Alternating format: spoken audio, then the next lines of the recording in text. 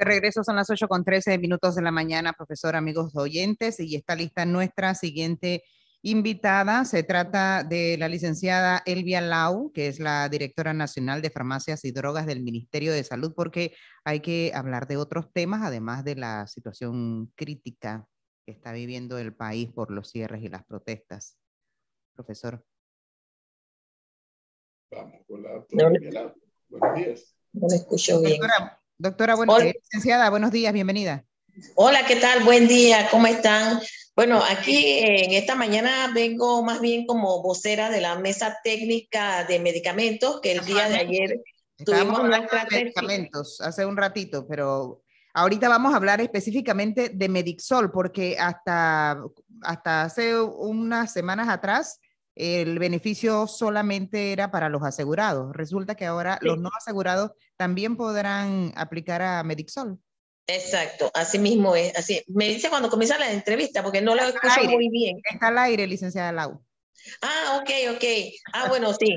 Eh, el ministro de Salud, el doctor Luis Francisco Sucre Mejía, pidió ayer al Pleno y al señor vicepresidente que se le hiciera esta recomendación de la mesa técnica de incluir a los no asegurados, todos aquellos que utilizan los centros de salud del Ministerio de Salud en Medixol, toda vez de que ayer propuesta de la mesa se decidió ampliar en, el, en la fase 1B a otras policlínicas y que ya el ministro pues ha visto que ya esto está eh, funcionando eh, como debe ser la policlínica. Sin embargo, debo decir que hasta la fecha de ayer informa el doctor Lau de que no se había tenido que dar ninguna prescripción por medio de Medixol, toda vez de que los medicamentos que están en este programa hoy día está abastecida la Caja de Seguro Social con los mismos y también el Ministerio de Salud está abastecido con los mismos. Sin embargo, pues es una visión a, a, a largo plazo de ver si en algún momento se necesitara tenerlo ahí y poderlo utilizar la población. Ah, eh, eh, licenciada, pero hay otros medicamentos eh, que la población o parte de la población asegurada se queja que no tienen en la caja de seguro social. Usted que está en este ámbito de salud, que pueda quizás tener la información, ¿hay la posibilidad de que incluyan otros medicamentos que tampoco se consiguen en la caja de seguro social y que la gente tiene que comprarlos por fuera porque no están? Su micrófono. Es que él compra con precio único. El proveedor le da un precio único. Pero ¿qué pasa? En el transcurso de esa entrega no puede entregar y hay que irse a un precio usual, a una compra usual. La compra usual es un precio mayor que el precio único. Lo que él está haciendo hoy día es esa conversación con las empresas que quieren entrar al programa, toda vez de que el precio que, al que van a ofertar esos medicamentos tiene que ser menor al precio de compra usual. Entonces, ¿qué nos dice eh, eso de que no es lo mismo que, se, que un candidato en algún momento presentó o que se hacía anteriormente con las recetas subrogadas? Porque en aquel entonces era el mismo precio a que se oferta al comercio. Aquí lo que se está buscando en esta mesa es pasar del no hay al sí hay en cuanto a la accesibilidad y la asequibilidad de los medicamentos. Claro, pero de esos en particular, porque no es de todos. ¿Cómo? De, esos medicamentos en particular, porque hay otros que no los tienen las farmacias del Seguro Social, pero no están de son, son con esos medicamentos, ¿por qué? Porque la encuesta nacional de medicamentos arrojó las morbilidades más comunes en el país. ¿Cuáles son? La número uno, hipertensión.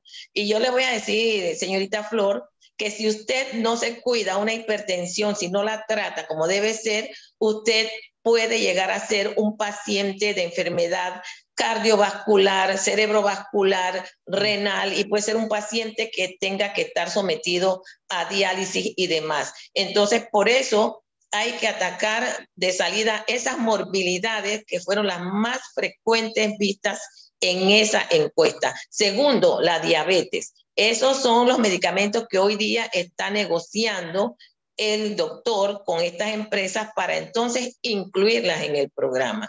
Creo que lo más que es, licenciada, es que lo hayan ampliado a la gente que utiliza las instalaciones del MINSA, porque si el Seguro Social las tiene, la gente no no, no, no. Recuerde, recuerde que las instalaciones del MINSA van personas que no están aseguradas. Por eso, por eso, a eso me refiero, que ahora sí va a tener un sentido el Medixol. Ah, ok, ok, no les, bien, no les escuché bien, es que como ya les dije al inicio, no les, no les escucho muy bien.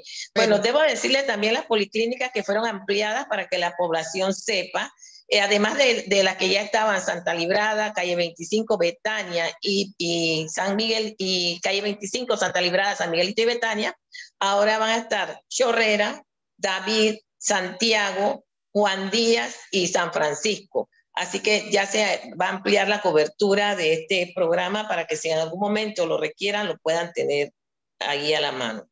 Bueno, bien por la gente que no está asegurada y que ahora eh, puede tener, eh, eh que no tienen que comprar el medicamento en las farmacias que son carísimos y que lo pueden, bueno, pueden ir, conseguirlo y el, y el seguro. En el centro de salud.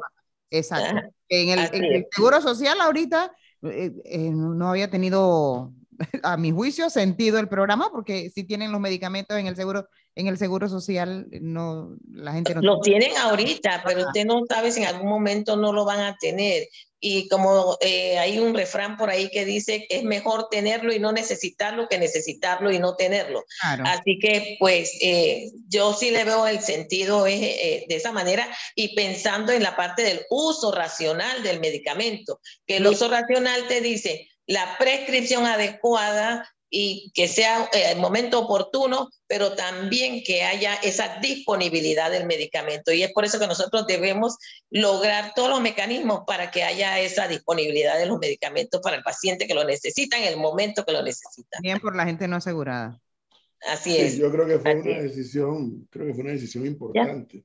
Incorporarlo al programa este que Yo no le escucho para que, que, ellos, esas personas no aseguradas, también pudieran beneficiarse de, Exacto. Creo que era eso, esa decisión ha sido fundamental. Que ahorita son los más, diría yo, sobre todo por la informalidad que, el, que hay en el país, ¿no? Exactamente. Es correcto, es correcto. Y bueno, eh, por eso que en ese momento el ministro pidió al, al, pleno de la mesa que aceptara esto y así fue, ¿no? Se aceptó unánimemente y por eso que el vicepresidente se lo recomendó al presidente de que se acepte incluir a todos estos. Yo soy asegurada, pero si no fuera asegurada en este momento, hoy ya puedo ir a... No, todavía, todavía. Apenas ayer fue la recomendación. Eh, esto como es, esto va con una plataforma digital, eso conlleva pues estar preparado. Es por eso que las policlínicas usted ve que no están todas de una vez, porque se van ingresando al programa a medida que ellas están listas, a medida que están preparadas y que se pueda hacer ese cruce de información y que, porque cuando la persona llega y no hay ese medicamento que está en el programa, se le va a crear en su cédula una receta digital. Entonces, esto conlleva una serie de pasos. Así que no es hoy mismo, ayer se hizo la recomendación, ya ayer entonces eh, falta que, que se vea que el presidente lo aceptó y entonces que se pueda llevar a cabo. Bueno, ahí está la información. Ahora vienen los días para ejecutar la decisión y que eh, nuevamente que estas personas que no están aseguradas puedan beneficiarse. De Así es. Licenciada muchas gracias. Muy amable. Saludos y buen día a todos. Bendiciones.